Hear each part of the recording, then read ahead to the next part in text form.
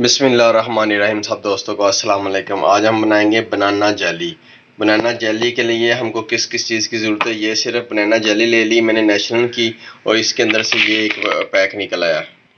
और ये मैंने दो कप पानी ले लिया, इसको अच्छे तरीके से उबाल करेंगे इसमें डालेंगे हम बनाना जेली का पैक।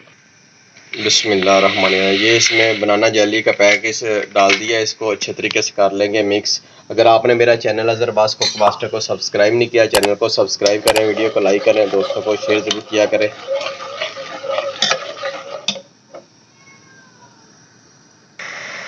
ये देखिए, माशाल्लाह, ये हमारी जेली तैयार हो चुकी बनाना जेली ये बच्चों को बहुत ज़्यादा पसंद है। अभी इसको हम तार लेते हैं, एक बर्तन में डाल लेंगे। ये मैंने बर्तन ले लिया, इसमें जेली को डाल लेंगे। बिस्मिल्लाह